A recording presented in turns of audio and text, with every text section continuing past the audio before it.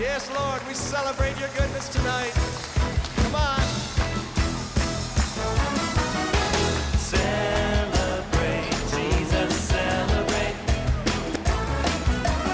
Good morning. This is Psalm for the day coming to you from the Redeemed Church of God Central Parish, Abuja. Our Psalm for the day is Psalm 131, verse 2.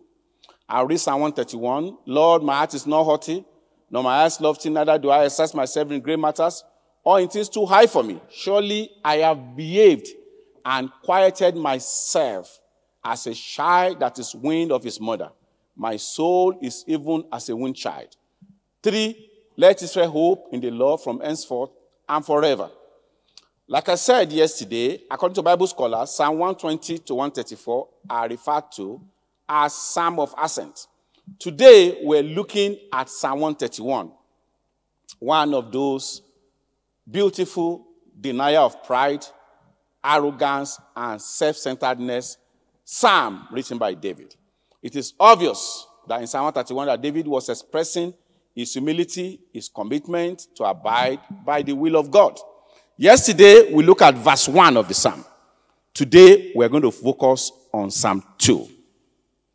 On verse 2. Verse 2 says, Surely I have behaved and quieted myself as a child that is weaned of his mother. My soul is even as a weaned child. Weaning is when a baby moves from breast milk to other sources of nourishment or food. It's a process that takes patience and understanding from both the mother and the child. And it's usually a difficult process for the baby because the baby prefers to continue on the breast milk. A child that is yet to be weaned embraces her mother with the thought of getting milk for immediate satisfaction. On the other hand, a weaned child embraces his her mother for out of love, closeness, and companionship.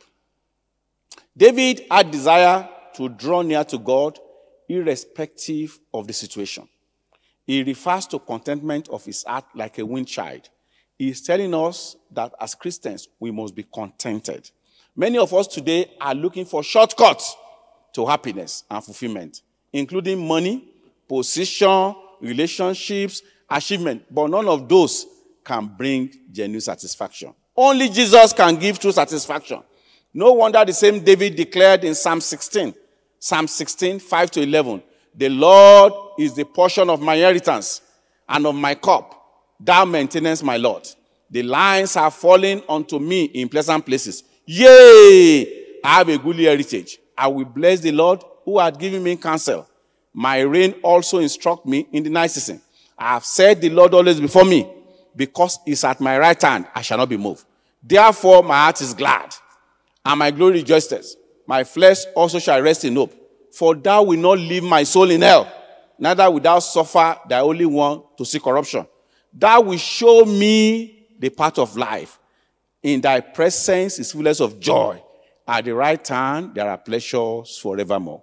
David is telling us here that is fully rested and contented in God. That is what we must do as Christians. I pray that God will show you the path of life, and surely as you rest on Him, He will give you a goodly heritage in the name of Jesus. In Philippians 4, Philippians 4, 11 to 13, Paul also highlighted this, stating that he is contented in whatever state he found himself, concluding that he can do all things through Christ who strengthens him. In verse 11 says, Not that I speak in respect of want, for I have learned in whatsoever state I am, therewith to be content. I know how to be abased, and I know how to abound.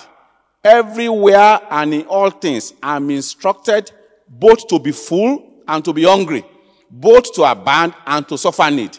I can do all things through Christ who strengthens me. Here, Paul alluded to his contentment rested not on the circumstances that surround him, but on his security in Christ Jesus. Brethren, I encourage you to be contented in Christ.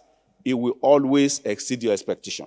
In 1 Timothy 6 6, 1 Timothy 6, Paul asserted that godliness with contentment is a great gain.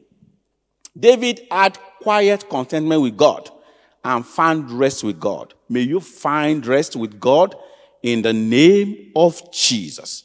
May you find rest with God in the name of Jesus. In Psalm 62, Psalm 62, reading from verse 1 to 8, David tells us that his soul is connected in God. Verse 1 says, Truly, my soul waited upon God. From him cometh my salvation. He only is my rock and my salvation. He is my defense. I shall not be greatly moved. Verse 5 says, My soul wait thou only upon God, for my expectation is from him. He is only is my rock and my salvation. He is my defense. I shall not be moved. In God is my salvation and my glory. The rock of my strength and my refuge is in God. Trust in him at all time. Verse 8. Ye people, pour out your heart before him. God is a refuge for us. Brethren, let your soul be content in God. He is your defense, and you shall not be moved in Jesus' name. However, your soul can only be contented in God if you give your life to him. That is why I encourage you today to accept Jesus Christ as your Lord and your Savior. As you do so, He will bless you on every side in Jesus' name. Our Father and our God, we thank you for your word today. Father, we ask that you give us the grace to rest fully on you and be contented in you like a wind child in the name of Jesus. God bless you. Have a glorious day.